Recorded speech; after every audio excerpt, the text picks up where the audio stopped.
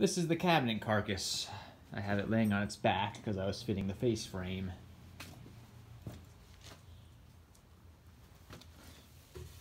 This bottom shelf is dadoed, glued, and pocket screwed in. Strong. The back is also rabbited and dadoed and glued in. This is the face frame. My usual pocket screw joinery. I used glue on the joints, even though it doesn't really add much strength to a butt joint, but I figured, eh, belt suspenders.